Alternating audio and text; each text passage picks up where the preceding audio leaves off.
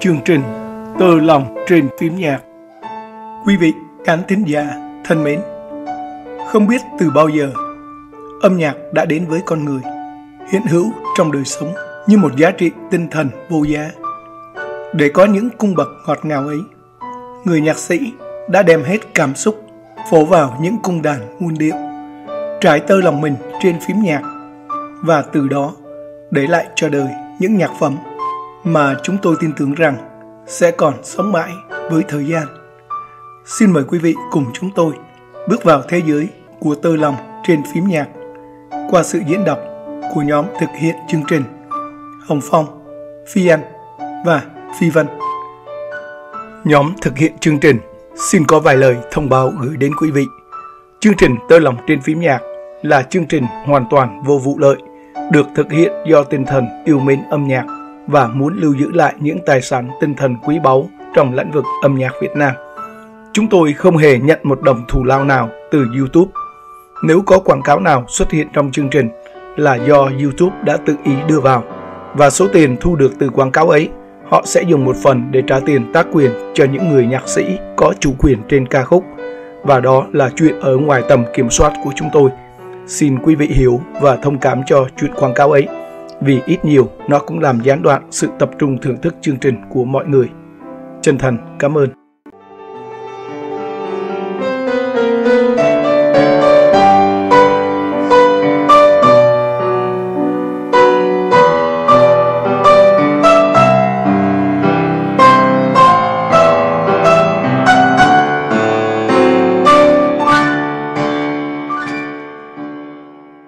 Quý vị đang lắng nghe chương trình Tơ lòng trên phím nhạc, một chương trình biên khảo sưu tập âm nhạc nhằm vinh danh những nhạc sĩ Việt Nam cũng như những đóng góp của họ từ thời kỳ phôi thai của nền tân nhạc Việt cho đến giai đoạn hiện tại.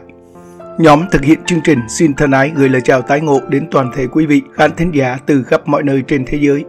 Xin chúc sức khỏe và an bình đến với toàn thể mọi người và gia đình. Chương trình Tơ lòng trên phím nhạc kỳ thứ 149 ngày hôm nay – có chủ đề Tình khúc Phượng Linh. Đây là chương trình thứ 4 và cũng là chương trình cuối cùng dành cho nhạc sĩ Nguyễn Văn Đông. Chương trình đặc biệt hôm nay, chúng tôi sẽ dành trọn cho dòng nhạc tình của nhạc sĩ Nguyễn Văn Đông, bao gồm những nhạc phẩm nổi tiếng đã được ông sáng tác dưới bút danh Phượng Linh. Đồng thời, chương trình thứ 149 cũng sẽ là chương trình cuối cùng được thực hiện cho nhóm những người nhạc sĩ sinh năm 1932 và bắt đầu sáng tác sau năm 1954 Xin mời quý vị cùng đồng hành với chúng tôi để bước vào với dòng nhạc Nguyễn Văn Đồng dưới bút danh Phượng Linh.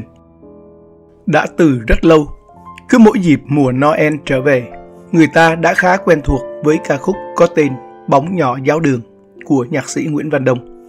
Như đã từng đề cập đến trước đây, nhạc sĩ Nguyễn Văn Đồng sáng tác khá nhiều những nhạc phẩm có liên quan đến Thiên Chúa giáo và thường được lắng nghe trong những dịp Noel trở về.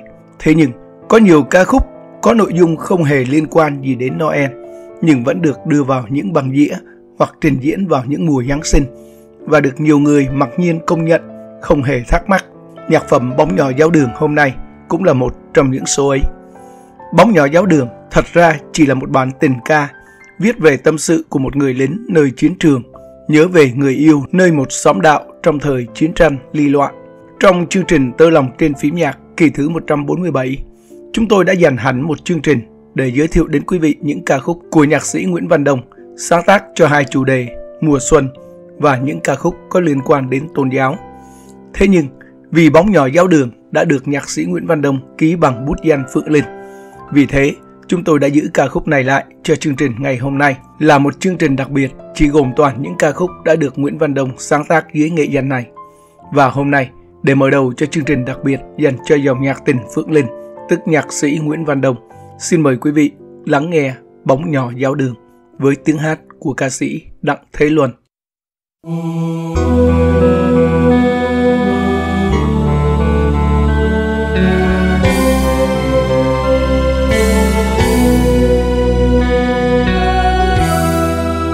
Có ai về miền quê lửa khói cho tôi nhắn vài câu.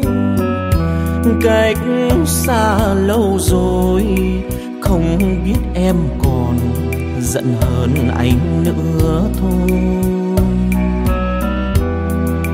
Chuyện ngày xưa, hai đứa thương nhau trong đêm nhiều sao sáng. Dưới lầu chuông anh khắc tên nhau chung trong lời khấn xin tràn chứa niềm tin. Có ai ngờ tình yêu ngày đó gieo ngang trái sâu lo? Lửa bình lan tràn, hai đứa đôi đàn mong đẹp kia vỡ tan. Hồi chuông tha thiết vì ai vang trong mùa quan tài tiếng cầu kinh khe khẽ thôi vang khi quân giặc dẫm tan, ngồi thanh lầu chuông.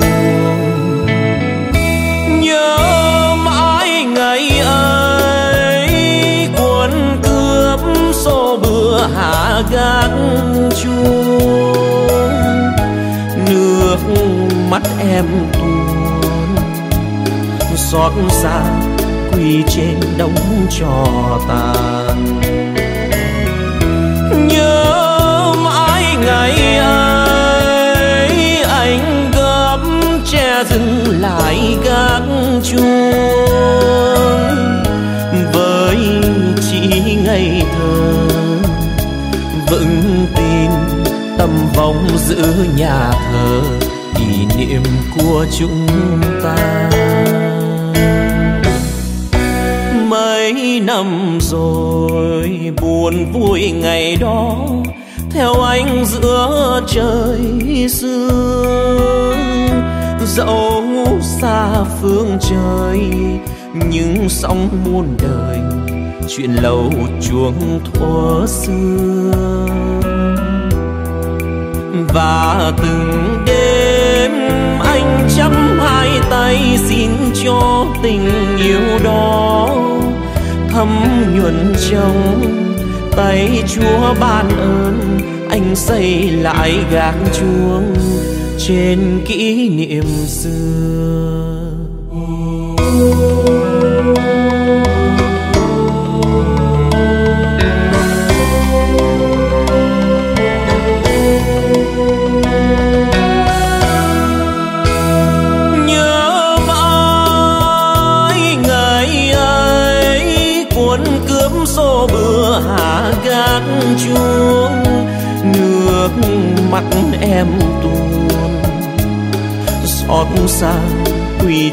Đóng cho ta. Tàn nhớ mãi ngày ấy, anh gấp che dừng lại gác chuông. Với chị ngày thơ, vững tin tâm vong giữ nhà thờ, kỷ niệm của chúng ta.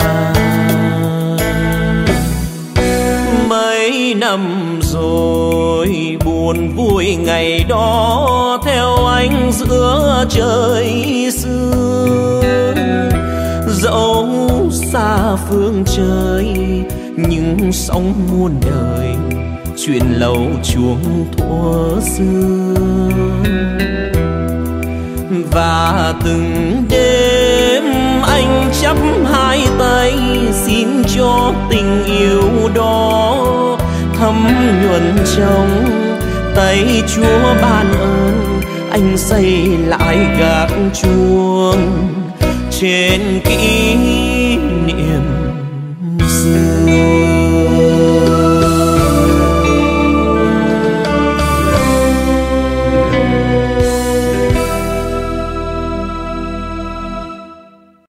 đóng góp vào dòng nhạc với chủ đề viết về Huế, nhạc sĩ Nguyễn Văn Đông với bút danh Phương Hà đã sáng tác Nhớ Huế. Chúng ta đã được nghe rất nhiều sáng tác viết cho Huế, mỗi nhạc phẩm là mỗi kỷ niệm, mỗi tâm sự, xúc cảm được các nhạc sĩ thể hiện bằng những sáng tác với sắc thái riêng biệt. Nhạc phẩm nào cũng có nét trữ tình, nét lãng mạn, yêu kiều của chốn thần kinh. Nhớ Huế của nhạc sĩ Nguyễn Văn Đông cũng là một sáng tác đậm nét nhớ thương của một người đã từng sống tại Huế và giờ đã xa. Những cảm giác tiếc nuối chứa chan trong nhạc phẩm gợi biết bao lưu luyến, cảm hoài cho những người đã một lần xa Huế. Nhạc phẩm được viết bằng âm hưởng dịu dàng, trìu mến như tình cảm lưu luyến của người xa Huế vẫn dành trọn vẹn cảm tình của mình cho nơi chốn ấy. Xin mời quý vị khán thính giả cùng lắng nghe Nhớ Huế, một sáng tác của nhạc sĩ Nguyễn Văn Đông với tiếng hát Yến Linh.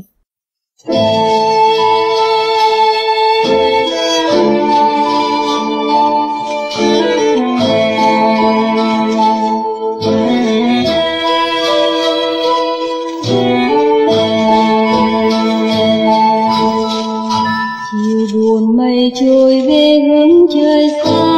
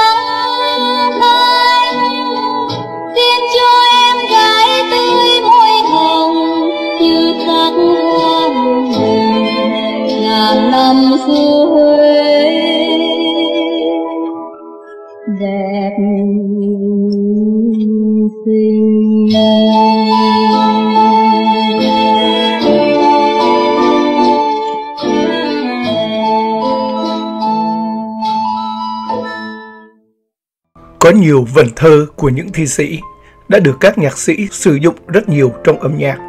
Thế nhưng, họ chỉ dùng một vài câu trong thi phẩm, nên khi nghe ca khúc ấy thì không mấy người biết rằng lời bài hát được xuất xứ từ đâu.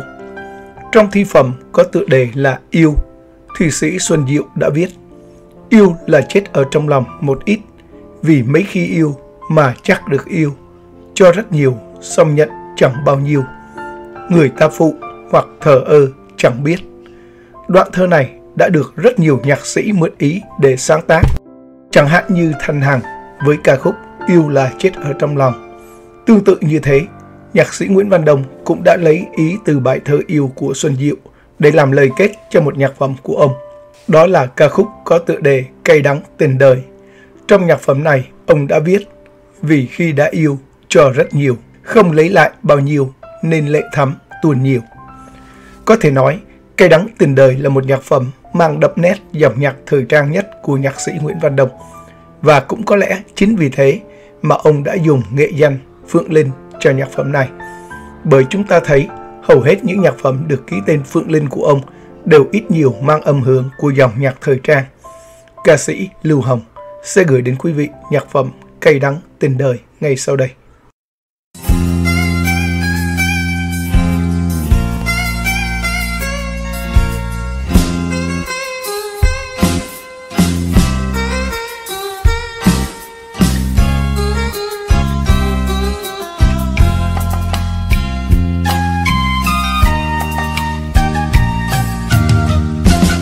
Tình lẻn đến biết đâu là bên nước, mệt mà muôn phương biết trôi về nơi đâu.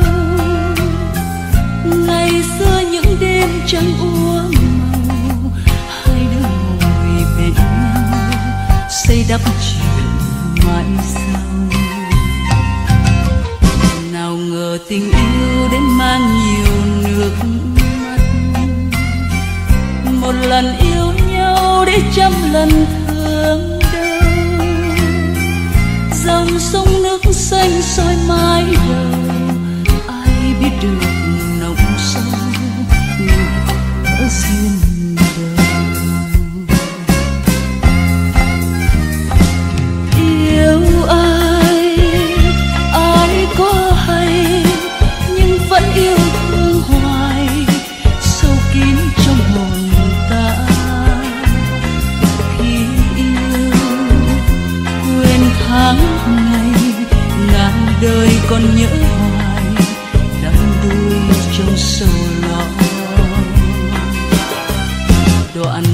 tình yêu có ai mà biết trước? Một lần xa chân ném bao niềm chua cay, vì khi đã yêu cho ra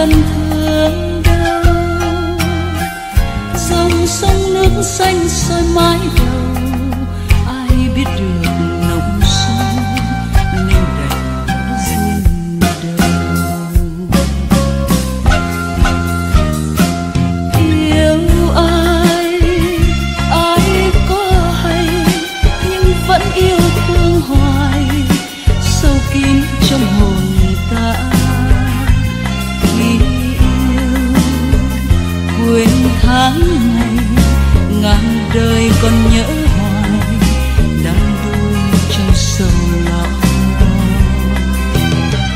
đoạn trường tình yêu có ai mà biết trước? Một lần xa chân nên bao niềm thương đau. Vì khi đã yêu cho rất nhiều, không lấy lại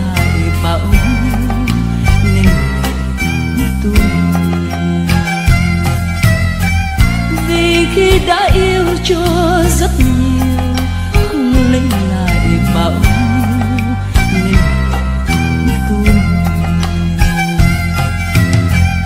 vì khi đã yêu cho rất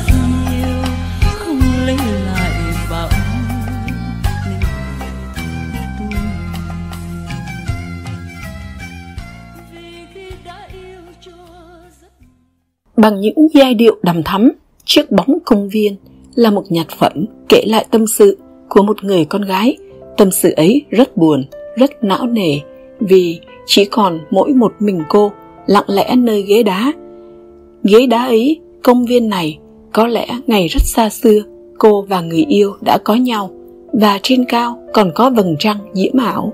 Còn hiện tại thì chỉ có đêm công viên buồn đơn côi, ta xa nhau lâu lắm rồi không còn nhớ được, ta đã xa nhau, vắng nhau bao lâu rồi, chỉ biết rất lâu rất lâu, để không còn đếm được. Để rồi nơi hẹp phố đêm, chỉ còn một bóng âm thầm đếm bước, tiếng bước chân buồn như càng gieo vào lòng, nỗi cô đơn tịch mịch. Chỉ còn lại một niềm tin tưởng rằng ân tình ấy không bao giờ đổi thay, để đường đời sẽ vẫn chung một hướng và duyên tình sẽ không hề nhạt phai tiếng hát của nữ ca sĩ phương dung sẽ được gửi đến cùng quý vị khán thính giả một nhạc phẩm có tên chiếc bóng công viên, một sáng tác của nhạc sĩ nguyễn văn đông với bút danh phượng linh.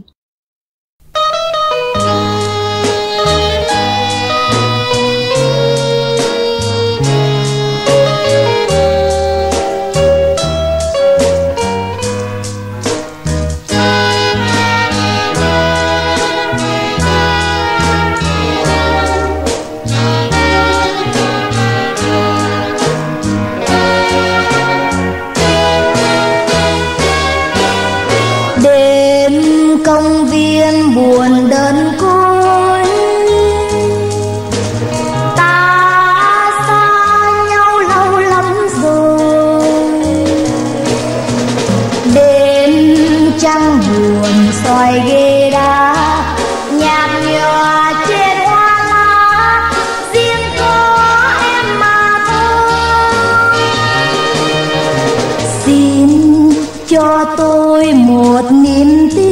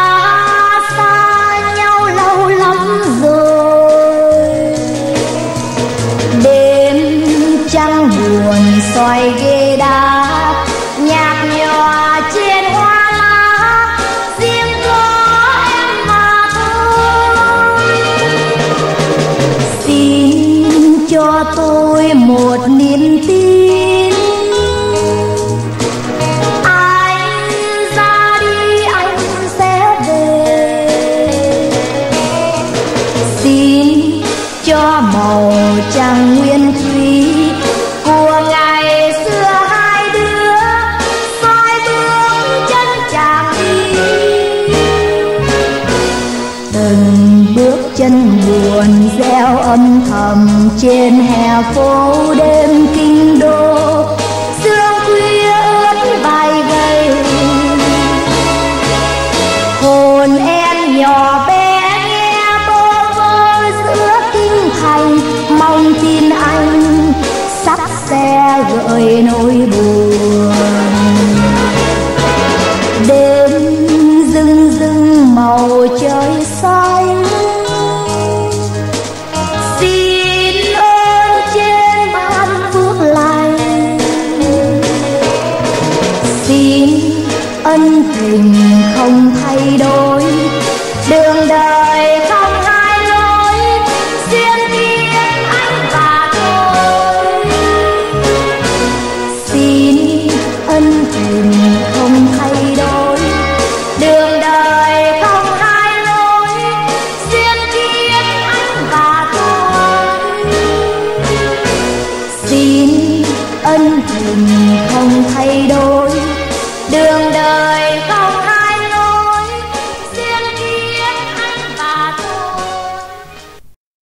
trong những ca khúc được sáng tác dưới nghệ danh Phượng Linh mà phần lớn đều mang âm hưởng của dòng nhạc thời trang thì có lẽ nhạc phẩm Dạ Sầu hay còn có tên gọi khác là Nỗi buồn duyên kiếp đã đi ra ngoài thông lệ ấy. Bởi sáng tác này của Nguyễn Văn Đồng có một âm hưởng khá đặc biệt, thiên về dòng nhạc tiền chiến với những cung bậc nhẹ nhàng và lôi cuốn. Thế nhưng đó chỉ là nói về âm hưởng của ca khúc. Còn về phần nội dung thì Dạ Sầu cũng vẫn mang nội dung nói về một cuộc tình tan vỡ giống như những nhạc phẩm khác của dòng nhạc thời trang lúc bấy giờ. Với những lời thở than cay đắng mà chúng ta có thể nghe xuyên suốt trong cả nội dung ca khúc. Chỉ có điều là một lần nữa, nhạc sĩ Nguyễn Văn Đồng lại cho chúng ta thấy cách dùng chữ trong nhạc phẩm của ông vẫn nằm trong khuôn khổ mà ông vẫn thường làm. Đó là đưa hình ảnh trong thơ cổ hay điển tích vào trong lời nhạc. Trong ca khúc Dạ Sầu, Nguyễn Văn Đồng đã viết Những chiều xa vắng trong cô liêu, xếp tàn y giữ hương yêu. Hình ảnh xếp lại manh áo cũ để giữ gìn mùi hương của người yêu, được cho rằng ông đã lấy ý từ bài Khóc bằng phi, tương truyền là thơ của vua tự Đức làm ra để thương tiếc một bà cung phi có tên là Thị Bằng, còn rất trẻ đẹp nhưng lại chết sớm. Trong bài thơ vua tự Đức đã viết, đập cổ kính ra tìm lấy bóng, xếp tàn y lại để dành hơi. Ngoài ra, nhạc sĩ Nguyễn Văn Đông còn viết một câu khác trong nhạc phẩm, biết rằng bình vỡ nên trầm rơi. Câu này có lẽ cũng dựa theo ý thơ trong đoạn trường Tân Thành. Trong truyện Kiều cũng đã ít nhất hai lần đại thi hào Nguyễn Du đã dùng hình ảnh này. Lần thứ nhất, ông dùng trâm gãy bình rơi để nói về cái chết của Đạm Tiên. Thuyền tình vừa ghé đến nơi, thì đà trâm gãy bình rơi bao giờ. Lần thứ nhì, ông dùng hình ảnh trong gãy bình tan ở trong đoạn Thúy Kiều trao duyên lại cho Thúy Vân để tượng trưng cho mối tình đổ vỡ gian dở. Bây giờ trong gãy bình tan, kể làm sao xiết muôn vàn ái ân. Cách sử dụng những từ ngữ cổ cũng như những điển tích để đưa vào lời nhạc của nhạc sĩ Nguyễn Văn Đông đã làm cho những sáng tác của ông có một nét đặc thù riêng biệt, rất khác lạ so với những nhạc sĩ đương thời. Dạ sầu hay còn có tựa đề là Nỗi buồn duyên kiếp xin được giới thiệu đến quý vị qua tiếng hát của nữ ca sĩ Thanh Lan và dòng nhạc tình Phượng Linh, tức nhạc sĩ Nguyễn Văn Đồng.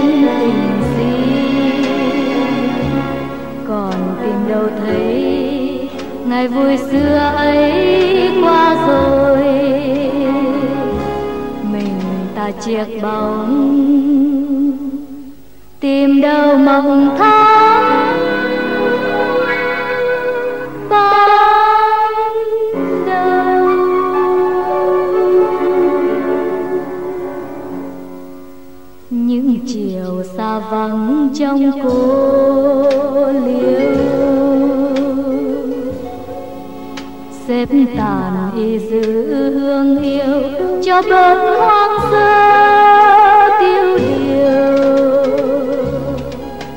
Biết rằng bình vỡ nên chân rơi? Nỗi buồn duyên kiếp bên lòng người hỡi bao giờ xóa mờ?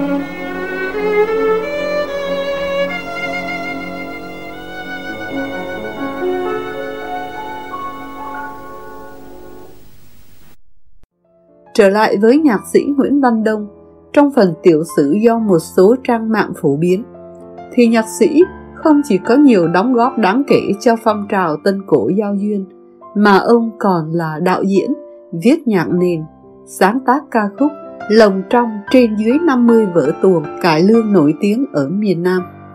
Điển hình như các vở tuồng Nửa đời hương phấn của soạn giả Hà Triều Hoa Phượng, Sân khấu về khuya của soạn giả Nam Châu, Mắt em là bể oan cừu của Vân An, vân vân. Trong dòng nhạc tình được sáng tác với bút danh Phượng Linh có một sáng tác rất nhẹ nhàng trong sáng, đó là nhạc phẩm Cô nữ sinh Gia Long. Ngày hôm nay, giới thiệu nhạc phẩm Cô nữ sinh Gia Long, chúng tôi lại xin mạn phép có đôi dòng về ngôi trường danh tiếng này. Trường nữ sinh Gia Long khi vừa được thành lập đã có tên rất thơ mộng là trường nữ sinh áo tím. Trường bắt đầu được thành lập từ niềm mong mỏi của một số thân hào nhân sĩ muốn xây dựng một nền giáo dục cho nữ giới. Ngày 6 tháng 11 năm 1913 là ngày đặt viên đá đầu tiên sau 2 năm xây dựng tại thành phố Sài Gòn tháng 10 năm 1915 đã được một vị toàn quyền và thống đốc người Pháp làm lễ khánh thành. Ngày hôm đó, ban tổ chức đã chọn màu áo tím làm màu áo đồng phục cho nữ sinh. Từ đó trường được gọi là trường áo tím. Năm 1940, khi quân Nhật xâm chiếm Đông Dương đã chiếm đóng trường, lúc các nữ sinh đang trong kỳ nghỉ hè, phải trải qua một thời gian bị tổn thất, di dời vì chiến tranh loạn lạc. Trường nữ sinh Gia Long bắt đầu có những sinh hoạt mạnh mẽ và vào khoảng năm 1953 thì tà áo dài màu trắng chính thức được thay thế cho màu tím. Năm 1954, trường chính thức có tên gọi là Trường Nữ Trung học Gia Long. Sau năm 1975, cùng với bao biến chuyển của đất nước, ngôi trường Gia Long đã mất tên và ngày hôm nay trường đã được đổi tên thành trường phổ thông cấp 2, 3 Nguyễn Thị Minh Khai. Trải qua khoảng 6 thập niên tồn tại, trường nữ sinh Gia Long là nơi đào tạo biết bao thiếu nữ, là một trong những ngôi trường tồn tại lâu dài nhất tại Việt Nam, là nơi đã từng in dấu bao bước chân các nữ sinh mỗi ngày đến lớp biết bao kỷ niệm có lẽ vẫn còn ngập đầy trong tâm khảm của những người một thời là học sinh của trường. Nhạc phẩm Cô nữ sinh Gia Long nhắc nhớ đến hình ảnh của những thiếu nữ xinh tươi ngày ấy, tình yêu trong trắng thơ ngây của cô với những chàng trai oai hùng thời chiến. Tâm hồn của cô sẽ vẫn dành chọn cho người ra đi vì sông núi để chờ một ngày mai huy hoàng. Hoa em vẫn vẹn sắc màu, trao anh chiếm đoạt công đầu, một sắc màu em đã ghi sâu.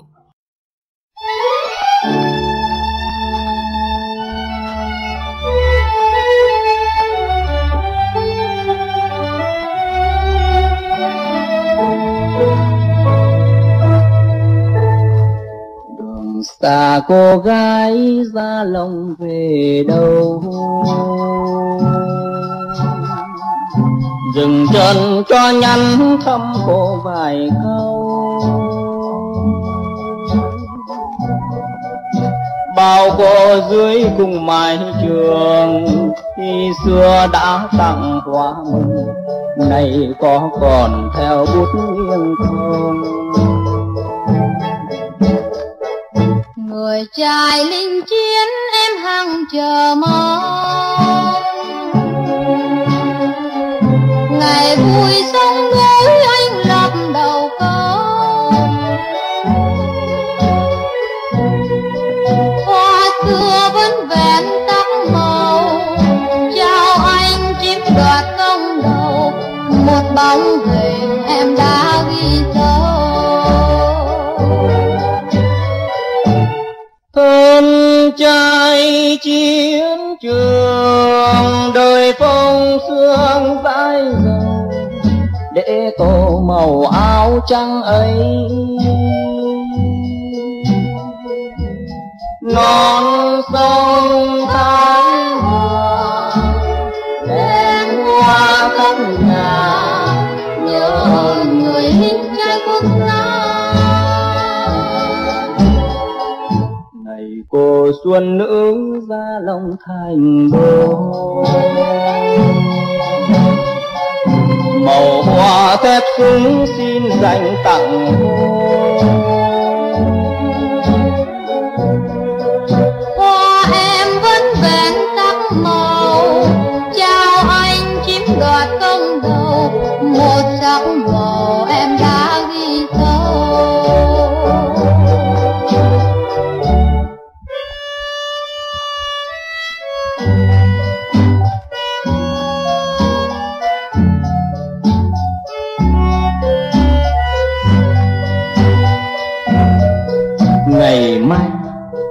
non sông Thái Hòa Đàn hoa dân khắp nhà.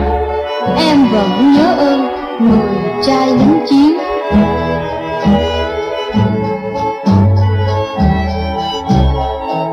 Ngày cô xuân nữ ra lòng thành đô Màu hoa thép súng xin dành tặng cô.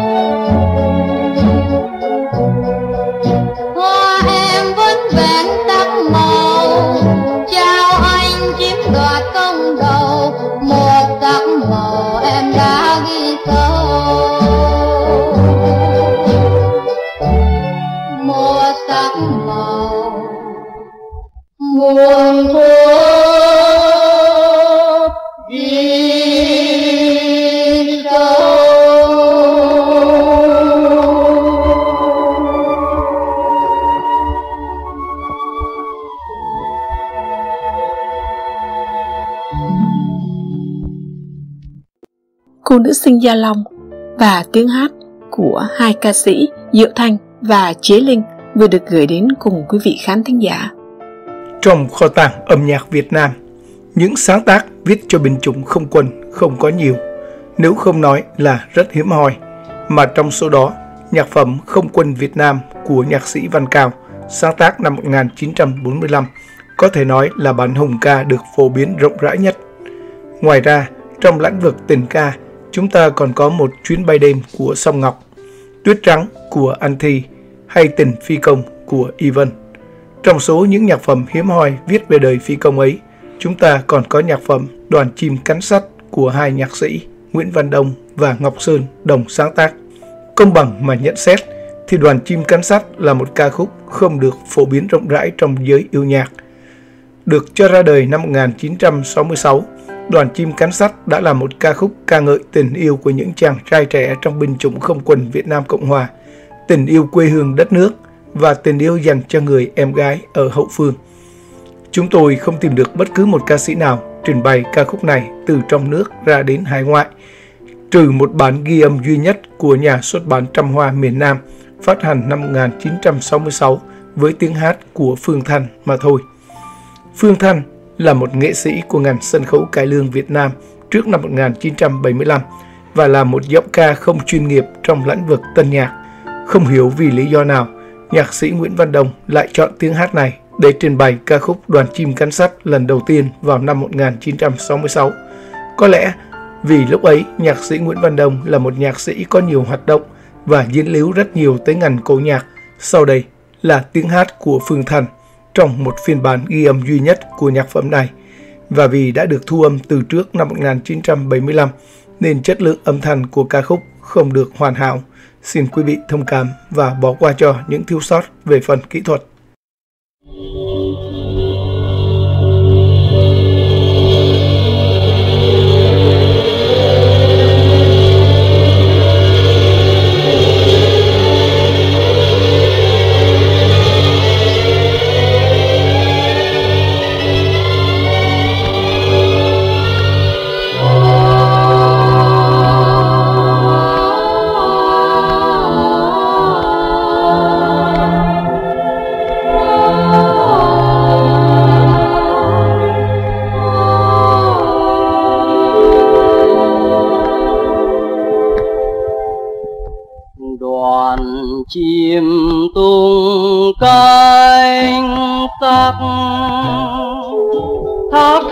Cùng khắp trên kinh đô xa cánh gió gầm thét trong đêm bao la.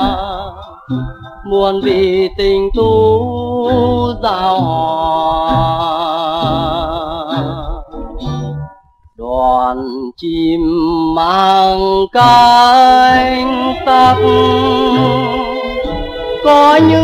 những tre bay trong đêm nay. Đánh mất một ít khi yêu thương ai. Cho tình yêu thương nước mây. Có tiếng phong pháo bạch thắng que đôi đèn màu. Có lúc cánh gió là đà, người yêu trong già tương sao mới xa đoàn chim mang cánh sắc có những chàng trẻ bay trong đêm này đánh mất một ít khi yêu thương ai. Cho màu trời xanh nước mây.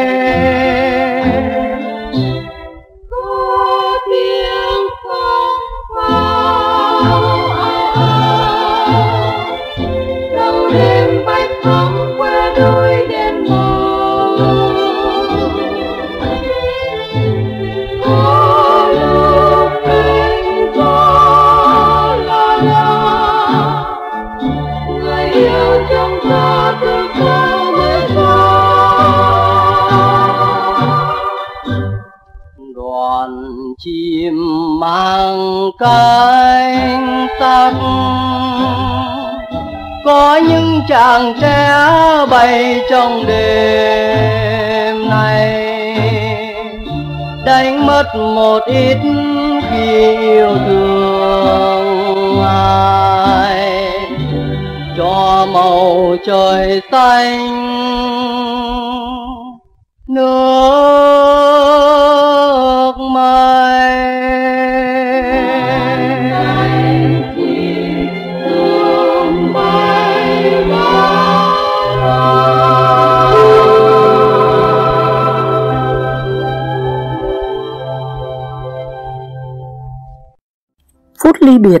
của những người yêu nhau đã vẫn là đề tài cho biết bao nhạc phẩm.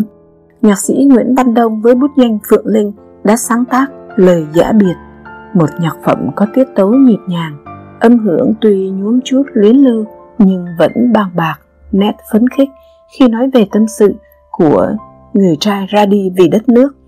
Trước bao tang thương của quê hương, người trai gác lại tình riêng, dù biết người yêu nhỏ bé, cô nữ sinh tuổi đời còn ngây thơ trong trắng, rất sầu nhớ, vì chưa bao giờ phải chịu cảnh chia ly, nhưng chắc chắn với một lời giao ước khi giã biệt, người yêu của cô sẽ quay về khi cuộc chiến đã tàn. Nơi ấy dù bôn ba đời lính, anh vẫn còn yêu thuở học sinh. Trời chiều biên giới hết mưa bay, người đi chóng quay về, em gắng chờ đợi nhau.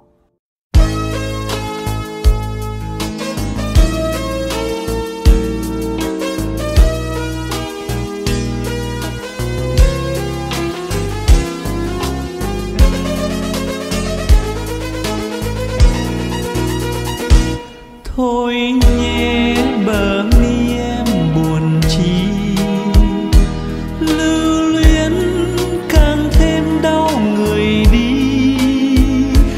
Một trời tang khó nhuốm đau thương, người trai trốn xa trường, hàn gắn tình mến thương.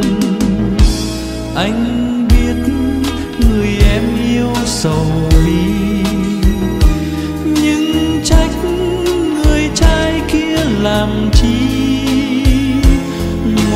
một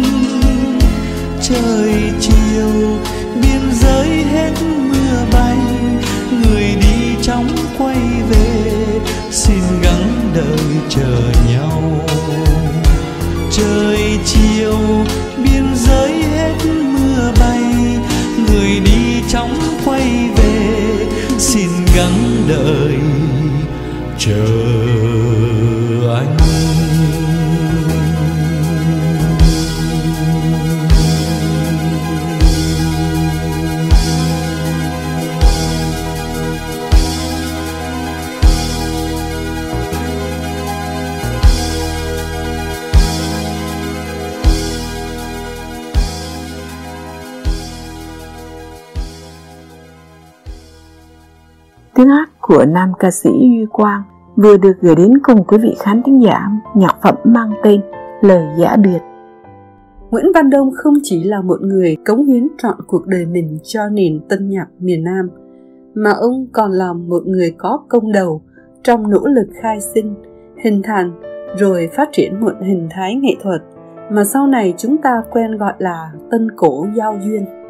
Trước khi đi sâu vào lịch sử, hình thành của nghệ thuật mới này, chúng tôi muốn nhắc tới bài tân cổ giao duyên đầu tiên, đó là bài Khi đã yêu. Nhạc phẩm tân cổ này do hai nghệ sĩ nổi tiếng của sân khấu cải lương là Thanh Nga, Minh Phụng, thu âm lần đầu năm 1963 tại Sài Gòn. Sau đó đã được nhà xuất bản Hồng Hoa ấn hành thành nhạc bản. Nhưng phải đợi tới sáng tác tân cổ giao duyên thứ nhì cũng của Nguyễn Văn Đông. Đó là bài Mùa sao sáng do Mộng Tuyền trình bày. Thì phong trào tân cổ giao duyên mới thực sự rộ lên, không chỉ tại Sài Gòn mà còn lan rộng khắp mọi miền đất nước. Đề cập tới nguyên nhân sâu xa đưa đến sự hình thành nghệ thuật tân cổ giao duyên, một số nhân vật tham gia từ đầu cho biết, vào năm 1962, các hãng băng đĩa nhạc Sài Gòn chuyên sản xuất các chương trình ca cổ nhạc thuần túy bị thất thu nặng nề vì số người mua đĩa sút giảm hẳn. Trước tình hình thương vụ bị suy giảm một cách đáng ngại, các hãng băng đĩa cổ nhạc bàn nhau tìm một hướng đi mới hầu cứu vãn tình thế. Thời gian đó, trong số các hãng chuyên sản xuất chương trình cổ nhạc có kỹ sư Ngô Văn Đức du học ở Pháp về Kỹ sư Đức nối nghiệp cha là ông Năng Mặn, làm chủ hãng đĩa Asia. Hãng này chuyên in, sản xuất đĩa 33 và 45 tours, cung cấp cho các trung tâm băng đĩa như Hồng Hoa, Sóng Nhạc. Ông Đức là người có công đứng ra mời gọi các soạn giả các chuyên gia âm nhạc và hiến kế các cấu trúc sáu câu của cổ nhạc. Và Ngô Văn Đức đã nhờ nhạc sĩ Nguyễn Văn Đông nghiên cứu lắp ráp phần tân nhạc, còn soạn giả Viễn Châu, tức Bảy Bá, người nổi tiếng với bài ca cổ nhạc Tình ăn bán chiếu, nhận lãnh nghiên cứu sắp xếp phần cổ nhạc sao cho ăn khớp với phần tân nhạc. Tóm lại, sự khai sinh nghệ thuật tân cổ giao duyên là một công trình tập thể với sự đóng góp tài năng, trí tuệ của nhiều người. Trong số đó, công lao của kỹ sư Ngô Văn Đức không nhỏ, cho dù ông không phải là nhạc sĩ hay nhà chuyên môn nghiên cứu âm nhạc. Và như đã vừa đề cập đến, nhạc phẩm Khi đã yêu của Nguyễn Văn Đồng được sáng tác dưới tên Phượng Linh chính là nhạc phẩm đã được đưa vào thể loại tân cổ giao duyên lần đầu tiên trong lịch sử âm nhạc Việt. Những sáng tác có mục đích nhằm định nghĩa tình yêu trong dòng nhạc tình Việt Nam có thể nói là không sao kể xiết, nhưng rõ ràng nhất trong những ca khúc ấy chúng ta phải đề cập đến hai nhạc phẩm cũng có tựa đề vón vẹn với một chữ yêu, đó là sáng tác của Văn Phụng và một bài khác của Trần Thiện Thành Cả hai nhạc sĩ đều đã cố dùng ý tưởng của mình đưa vào âm nhạc để định nghĩa hai chữ tình yêu.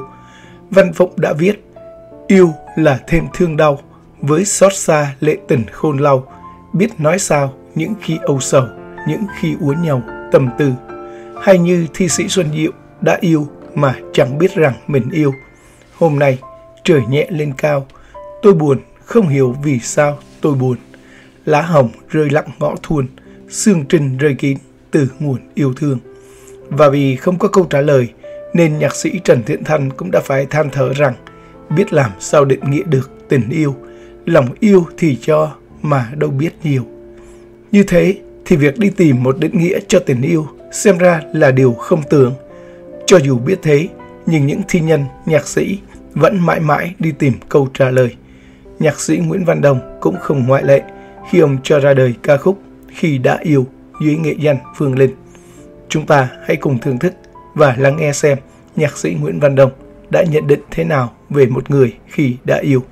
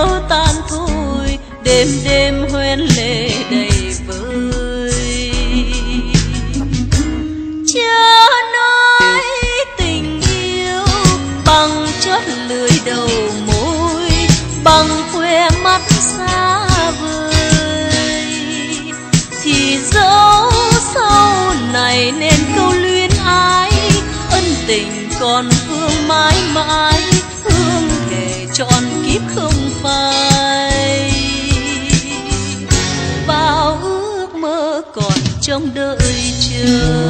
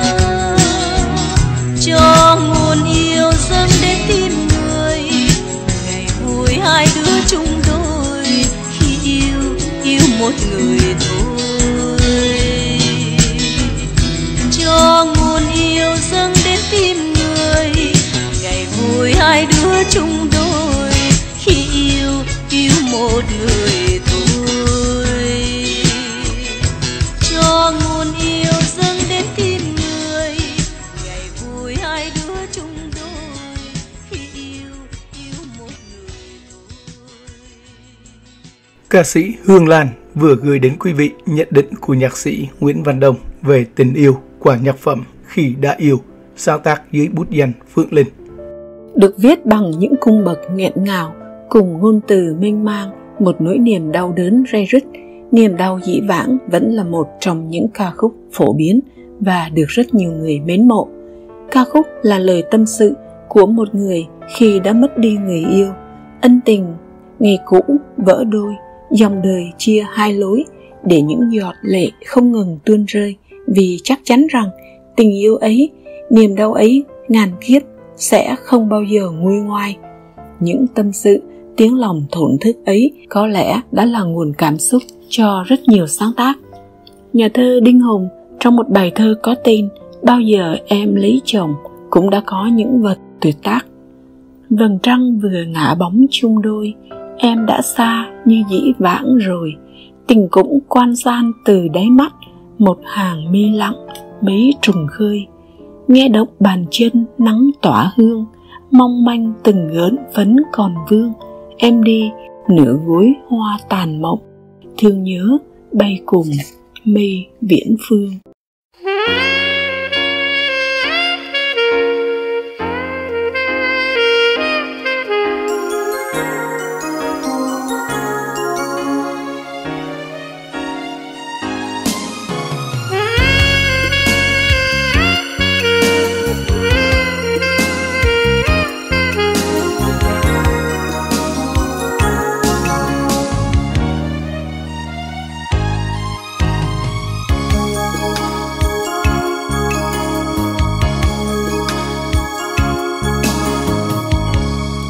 Ngày hai đứa ân tình vỡ đôi.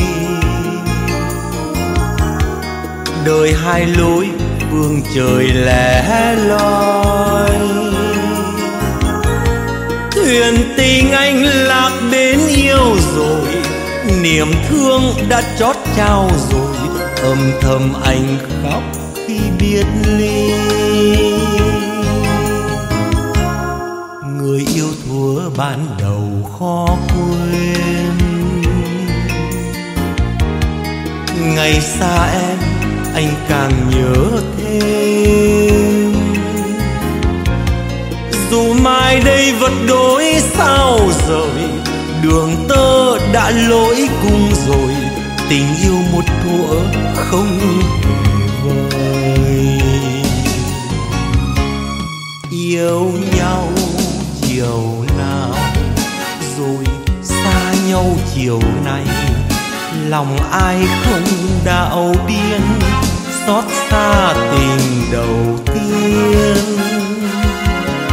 Em ơi, một phút bên nhau rồi, tình ấy cao vời vợi lòng nhớ mãi không nguôi lời ân ái đâu ngờ trong phai. Tình gian dối nên nhiều đắng cay. Hồn anh xin trọn kiếp theo người, dù duyên tình dở dang rồi, buồn theo ngày tháng âm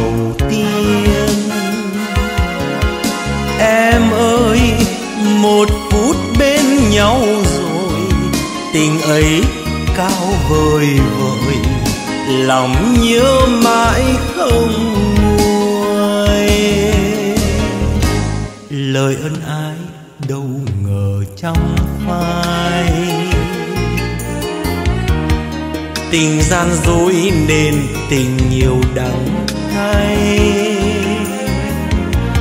hồn anh xin tròn kiếp theo người, dù duyên tình dở dang rồi, buồn theo ngày tháng âm thầm trôi. hồn anh xin tròn kiếp theo người, dù duyên tình dở dang rồi, buồn theo ngày tháng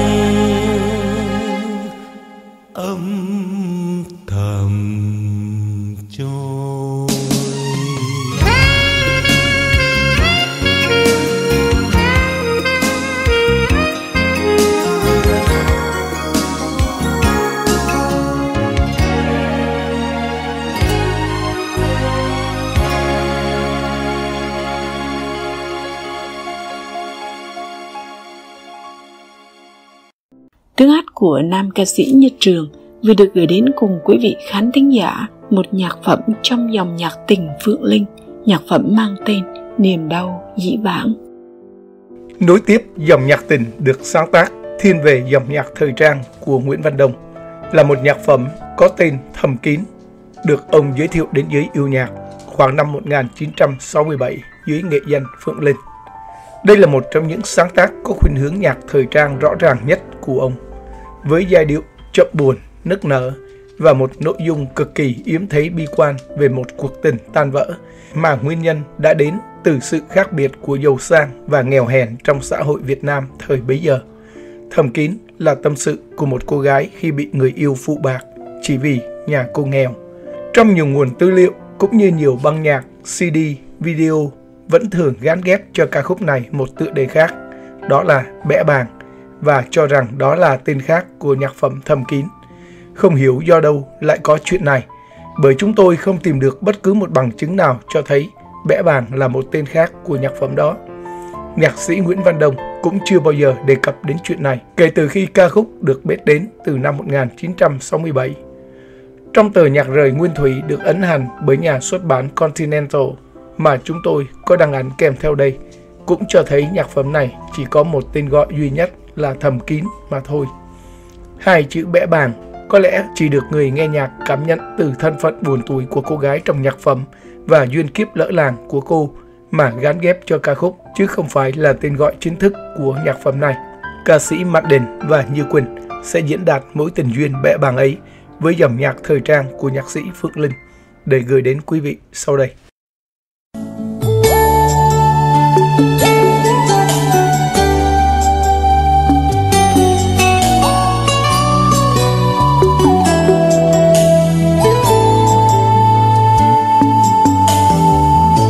Xin trả cho anh lời nói yêu đầu. Cùng màu thư xanh anh viết cho em. Duyên kiếp ngăn đôi hai đứa mình rồi, thì giữ chi cho thêm buồn, càng gợi thêm bao xót thương. Em chúc cho anh mối duyên tình. Cùng người anh yêu quên quý cao xa em biết thân em phận gái nghèo hèn, mà lỡ yêu thương ai rồi, cầm bằng như áng mây trôi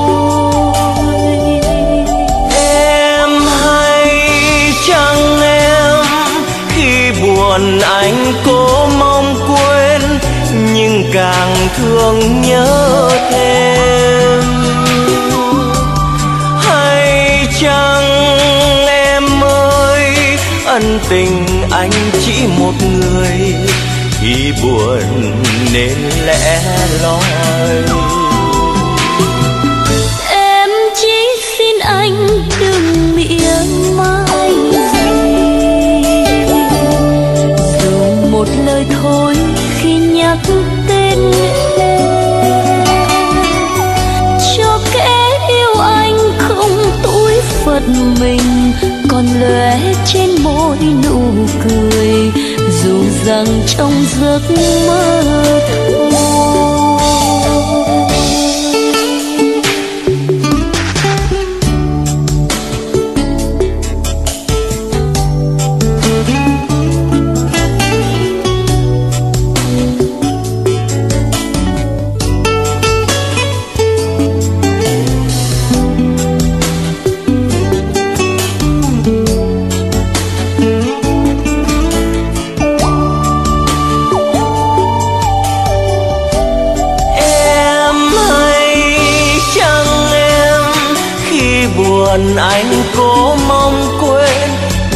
càng thương nhớ thêm.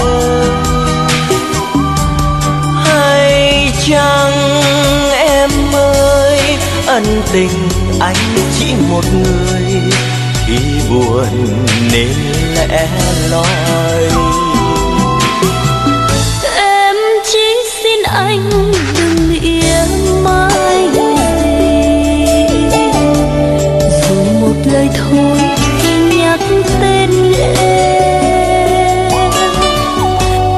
Kẻ yêu anh không tuổi phận mình, còn lóe trên môi nụ cười, dù rằng trong giấc mơ thôi. Cho kẻ yêu anh không tuổi phận mình, còn lóe trên môi nụ cười, dù rằng trong giấc mơ thôi.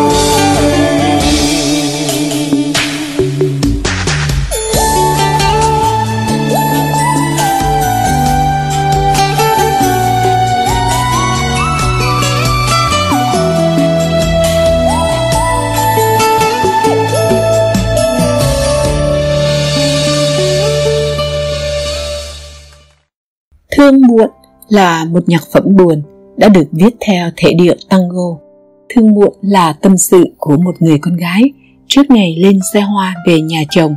Cô đã gửi cho người yêu đôi lời trần tình, xin người yêu đừng trách mình thay lòng đổi dạ.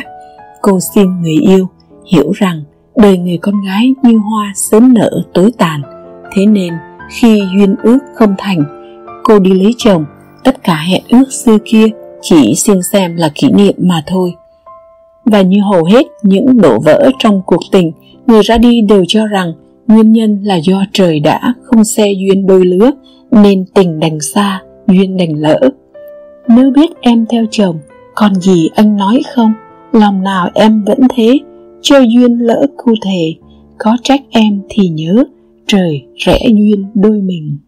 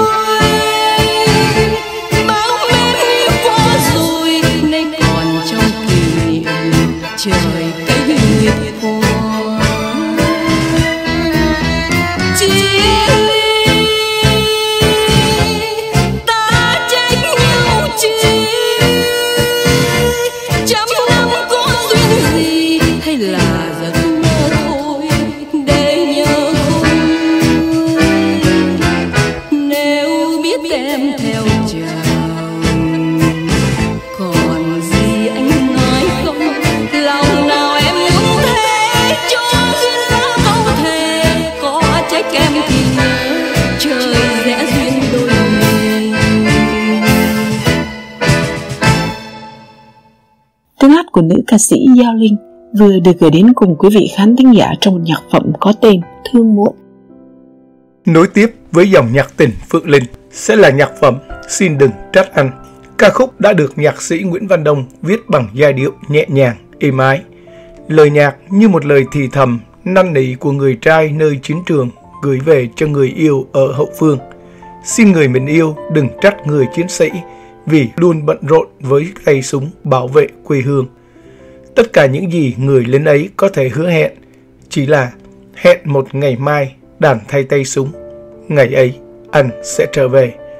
Những ai đã trải qua hoàn cảnh và có tâm sự như thế mới biết được rằng những lời hứa hẹn ấy thật xa vời, chẳng biết bao giờ hoặc phũ phàng hơn nữa là không thể thực hiện được. Thế nhưng, những đôi nhân tình trong hoàn cảnh ấy vẫn phải bám víu vào những lời hứa hẹn xa vời để vui sống, mong chờ cũng như hy vọng. Nhạc phẩm êm ái này đã nói thay cho tất cả những người trai trong thời chinh chiến của những năm tháng xa xôi ngày đó để gửi đến người mình yêu nơi hậu phương bằng bốn chữ xin đừng trách anh.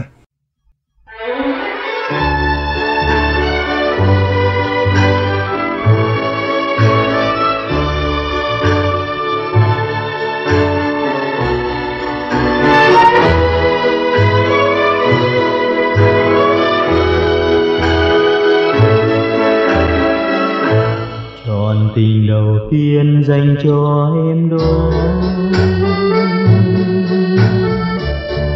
Dù lạc ngàn phương đời trái sương gió đừng trách linh chiến thường hay, không có nước mắt sầu chiến tình yêu hay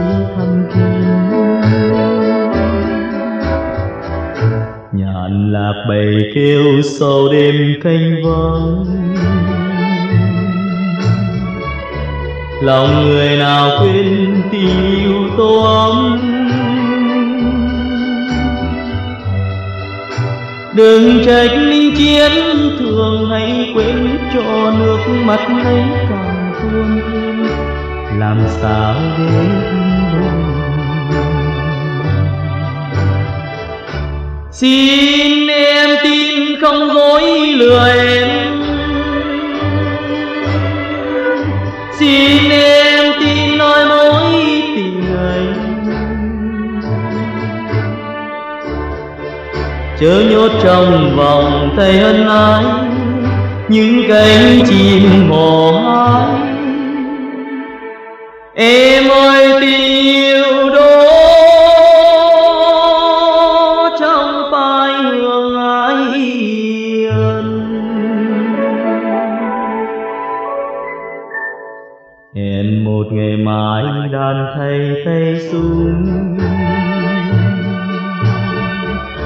ta từ niềm vui đèo cao gió núi người lính thất hứa ta hãy quên, đêm chiếc áo cưới nhờ thế một câu ngắn anh.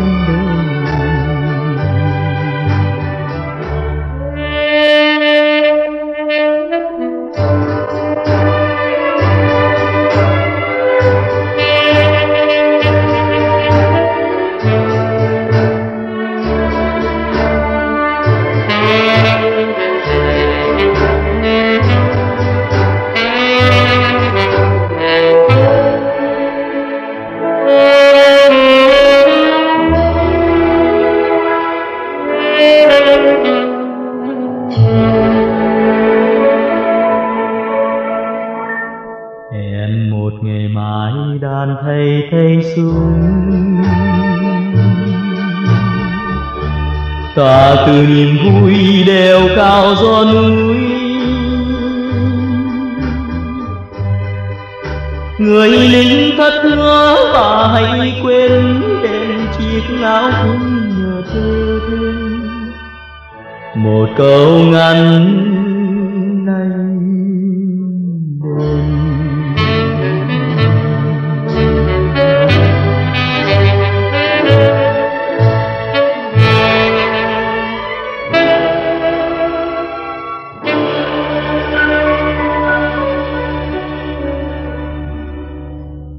Xin đừng trách anh vừa được gửi đến quý vị với tiếng hát của nam ca sĩ Hùng Cường qua dòng nhạc của nhạc sĩ Phước Linh. Mây Chiều là tên một nhạc phẩm trữ tình đã được sáng tác với hai bút danh Phượng Linh và Mây Tần.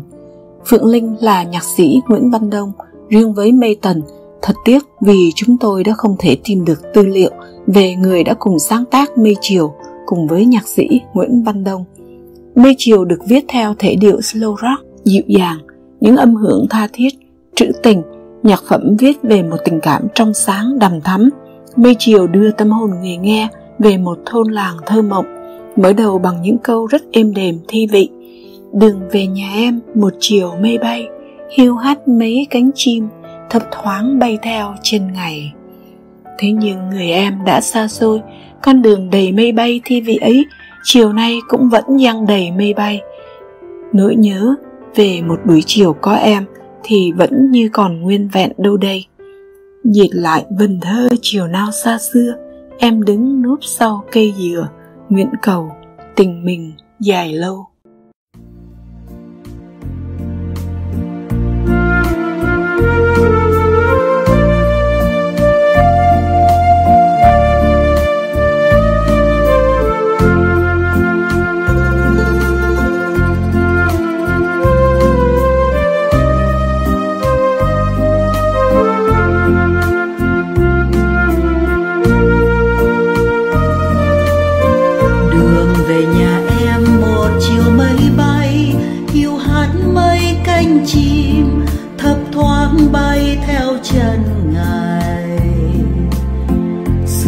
Chiều mờ sang hàng cây cô liễu, vang vắng tiếng chuông ban chiều, gợi buồn ngập dâng muôn lối. Lạc loài về đây một chiều héo may, sơ sáng chiếc lá rơi như nước mắt ai phương trời. Lòng thầm gọi tên người em xa xôi, tuy cánh mây thu qua rồi ngàn đời dệt mộng lòng tôi. Chiều nay chân mây phương xa thăm chiếc em xa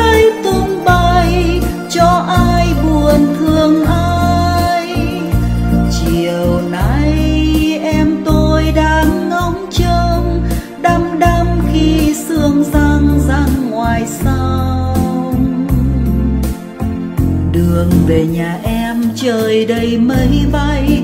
Tơ liễu lá bóng cây như dáng em tôi gầy gầy. Dệt lại vần thơ chiều nào xa xưa, em đứng núp sau cây dừa, nguyện cầu tình mình dài lâu.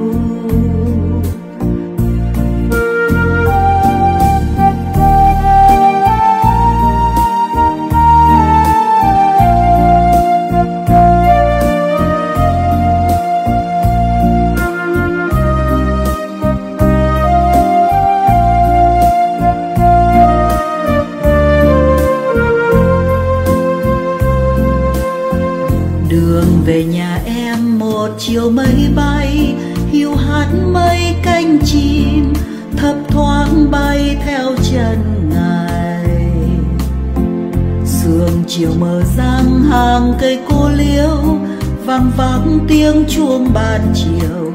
Gợi buồn ngập dâng muôn lối.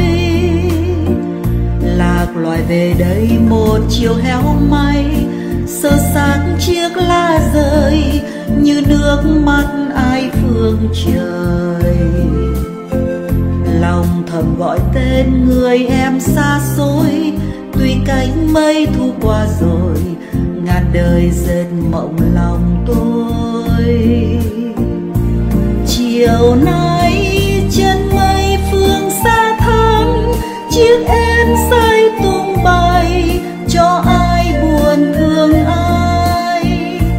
Chiều nay em tôi đang ngóng trông, đăm đăm khi sương răng răng ngoài sông. Đường về nhà em trời đầy mây bay tơ liễu lá bóng cây như dáng em tôi gầy gầy.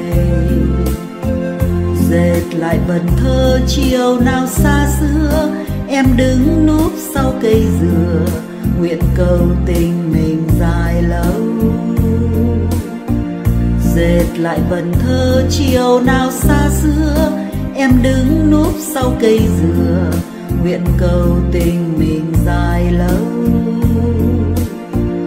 Dệt lại vần thơ chiều nào xa xưa, em đứng núp sau cây dừa, nguyện cầu tình mình dài lâu.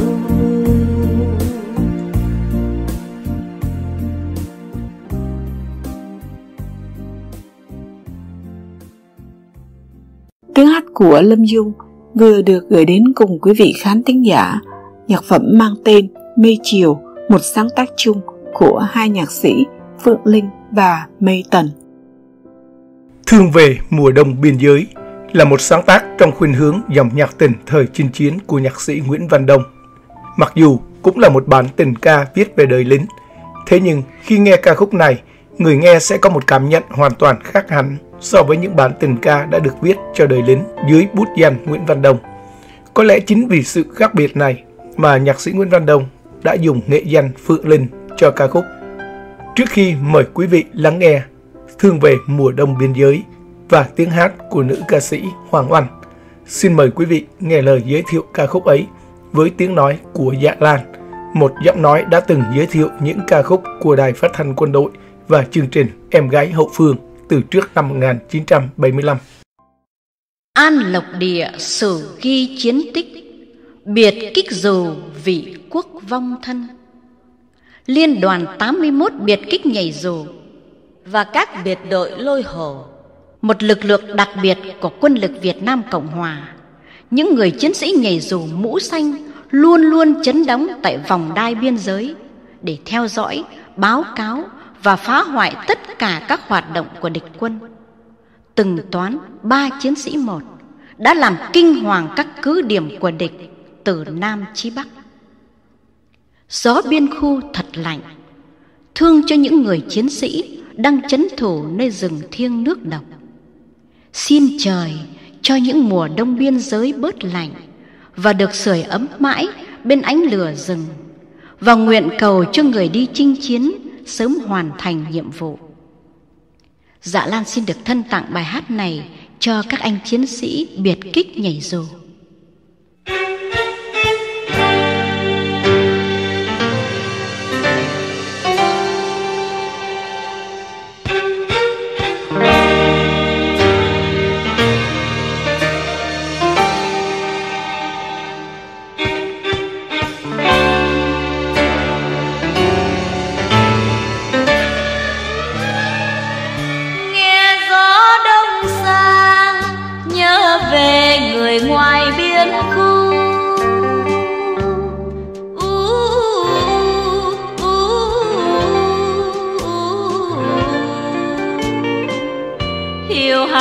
Trời mây, hàng cây sơ xác gió lay, bên thềm ngập lá thu gầy, lạnh lùng em thương nhớ ai.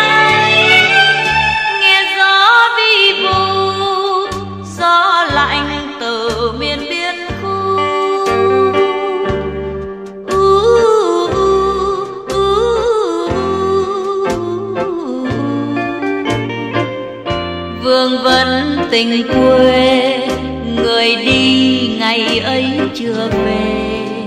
Ngoài trời mưa bay vẫn bay cho lòng ai thương nhớ ai? Anh ơi do lạnh mùa đông do lạnh lòng trai đi giữ non nhà trong đêm.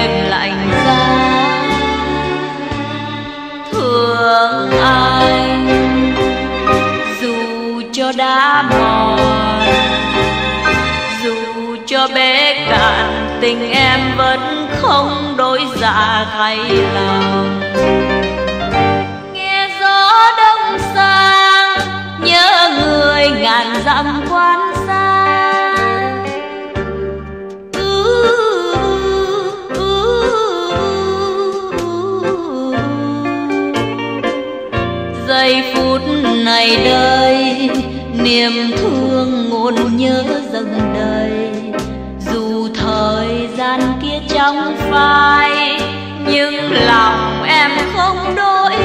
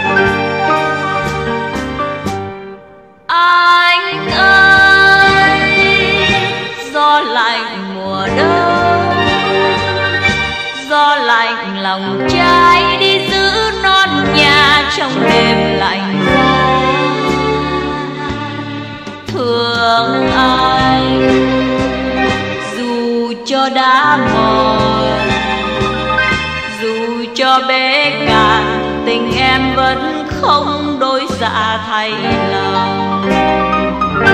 Nghe gió đông sang, nhớ người ngàn dặm quan xa u u u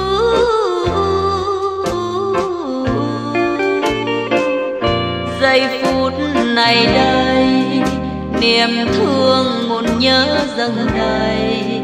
Dù thời gian kia chẳng phai nhưng lòng em không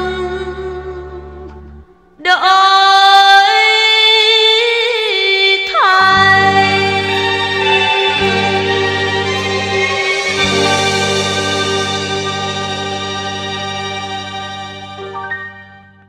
Khi biến cố tháng 4 năm 1975 xảy ra, như tất cả những sĩ quan quân lực Việt Nam Cộng Hòa khác, Nguyễn Văn Đông bị tù cải tạo.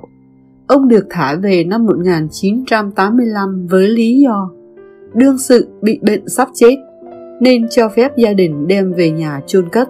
Tuy thuộc diện HO, đủ điều kiện để xin định cư tại Hoa Kỳ, nhưng gia đình thấy Nguyễn Văn Đông đau bệnh quá nặng, không biết chết lúc nào, nên đã giữ ông ở lại. Thể theo ước nguyện của ông là khi chết xin được chôn tại quê nhà. Nhạc sĩ Nguyễn Văn Đồng đã vĩnh viễn ra đi năm 2018 tại Sài Gòn. Trong đám tang của ông xuất hiện một cảnh tượng rất xúc động khi lễ di quan diễn ra. Nhiều người đàn ông mặc thường phục, không ai bảo ai, đã bất ngờ đưa tay lên chào theo kiểu nhà binh. Thấp thoáng trong đám đông cũng có những cá nhân im lặng đưa tay lên chào không cần hiệu lệnh. Hầu hết là những cựu thiếu sinh quân Việt Nam Cộng Hòa cùng trường với ông và những người khác là cựu quân nhân. Họ chào tiễn biệt vị đại tá chấn văn phòng của Tổng tham mưu phó quân lực Việt Nam Cộng Hòa về nơi an nghỉ cuối cùng. Hình ảnh hàng người đứng chào theo kiểu nhà binh trước đám tang của nhạc sĩ đại tá Nguyễn Văn Đông đem lại một nỗi xúc động lạ thường. Buổi chia tay vĩnh viễn với người nhạc sĩ tài ba, không có nhiều người khóc, chỉ có những cánh tay đưa lên, im lặng chào đưa tiễn ông. Động tác trông rất quen thuộc, khiến những người xa lạ nhau như có sợi dây vô hình đang kéo họ lại gần với nhau. Có một điều gì đó mơ hồ dâng lên trong số những người tham dự đám tang ấy, một cảm nghĩ đầy xúc động. Chế độ Việt Nam Cộng Hòa đã mất từ lâu lắm rồi, thế nhưng con người và tinh thần quốc gia thì vẫn còn sống mãi.